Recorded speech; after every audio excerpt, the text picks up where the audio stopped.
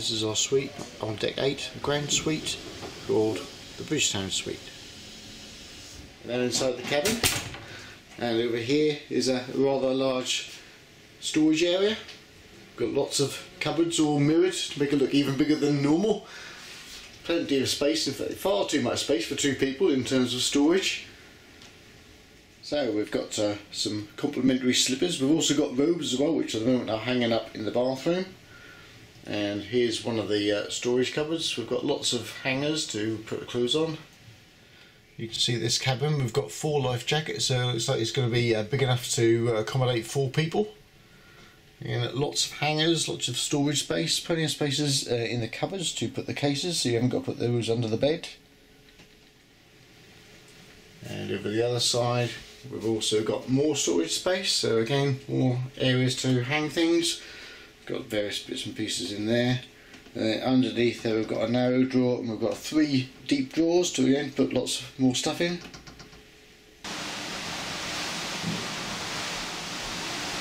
Uh, we've got more storage areas in here, so again more storage space in there. And in here we have our fridge. So uh, that's where the mini bar is, but obviously you can store your own stuff in the fridge. Here's we've got our towel elephant. We found him on the bed the other night. We've got uh, some cups there, a little ice bucket. Um, over here, um, some of the things you get in the suite, we've got a uh, Nespresso or Lavazza uh, coffee machine with uh, operates with some pods. We've yet to struggle how to work that one out. Uh, we've also got a Sony PlayStation under there with some consoles and, and the usual uh, jug kettle with coffee, tea, and our Lavazza pods. And on the wall here we've got our television, various different channels. On the wall there we've got some USB chargers which again are quite handy if you want to charge any mobile phones or anything else via USB. One of the things we've found is a little bit of a challenge is the uh, that the cords to the coffee machine and everything are quite short so we can't actually find a, a power point that's actually uh, close enough to plug those in so we've had to sort of move those uh, across to the other side of the room in order to operate those. You can see there is actually a power point just to the bottom near the floor there however the actual power leads to the uh, Lavazza machine and also the kettle not quite long enough to reach that one. Uh, next up we'll have a look at the bathroom. There are complimentary bathrobes hanging on the door. If you go inside the bathroom, it's, it's a nice spacious bathroom compared to the usual balcony cabin that we've been used to. So over here we've got a full-size bath with uh, some bath uh, or some shower gel uh, on the wall. We've got a good good shower. It's powerful. There's three different settings on the shower head, and it's uh, nice and powerful and nice and warm. So plenty of room to move around in the shower, unlike the uh, the usual sort of cabin experience that we have.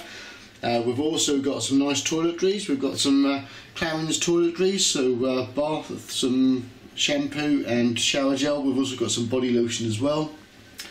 Um, in the uh, suite we've also got some very large and comfortable towels which are good, big enough to wrap around you which is really excellent. Here you can see we've actually got a double sink, so a his and hers sink, plenty of room to uh, uh, wash and move around in the bathroom. Again, more storage space, nice large mirrors. Got the toilet over here, again, uh, plenty of space to store stuff and lots of uh, mirrored surfaces. Uh, we've got artwork. Artwork seems to be theming with the name of the suite, so we've got the Bridgetown suite, so I think all of the artwork in the room is all sort of themed around Barbados. So moving away from the storage area and the bathroom, we've got our seating area, so, so we've got a TV on the wall, we've got more artwork themed into the name of the suite. We've got uh, two armchairs, there's Susan sitting in a chair, hi Susan. uh, we've got a, a, sofa over there and a little table. So again, plenty of space to move around.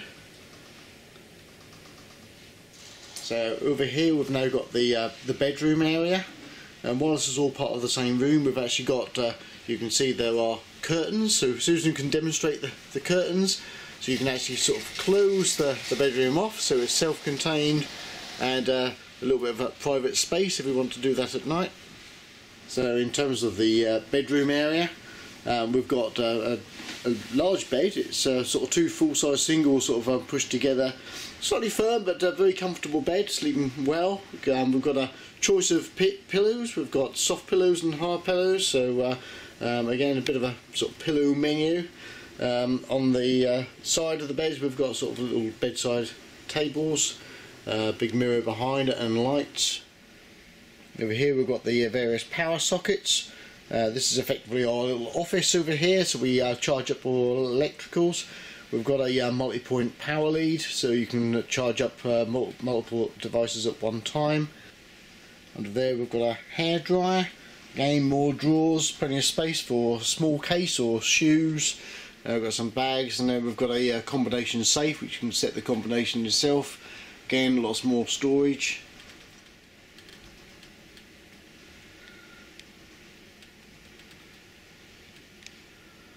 So just a little pan around the room just to get a feel for the size of the room. It's very comfortable room. It's uh, one of the uh, larger suites on the ship. I think it's only the Royal Suite that's actually larger in size. We've got 12 of these on the Discovery, so it's a it's a quite a select bunch of cabins this one, but uh, very nice.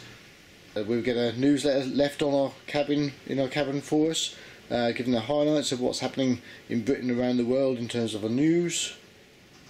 There's our daily cruise news, that sets out what's going on around the ship during the day and the evening. We've also got a uh, an invitation for a hosted dinner, so uh, we're looking forward tonight to a meal um, with the chief purser on the ship. Uh, so that'll be quite a nice little treat for us. We've never done that before. We've, uh, I think it's one of the perks of being in a suite to uh, have the opportunity of sitting and having dinner with one of the senior members of the crew. So that'll be uh, really good to look forward to. We've also got uh, some beach towels and a guide to the various excursions available. I've just drawn back the curtains so you can see what the balcony is like. We're currently in an unusual situation actually. We're on the Red Sea. We've just gone through the uh, um, sort of one of the areas where there's a, a risk um, from the uh, Somali pirates. So we've got armed guards on board. Um, we've had to sort of you know, close the decks and the balconies for the last sort of three hours or so, um, just as a security precaution. But uh, we understand from the captain that everything's safe and no cruise ship has ever been boarded by pirates. So we're just waiting for the confirmation we can open the balcony and we'll have a look outside at the balcony. It's a nice sized balcony. It's very spacious. We've got plenty of room to put uh, two full-size sun loungers out and as well as the sun lounges we've got a separate uh, large round table and small table and two chairs as well so um, a very generous sized balcony any uh, difficulty with the balcony is acted as a large overhang there which actually means we don't get an awful lot of direct sunlight. Uh, depending on which way the ship is facing we're either going to get it first thing in the morning or last thing before sun goes down. But during the day although we've got sunbeds there's actually not going to be any direct sun on the balcony itself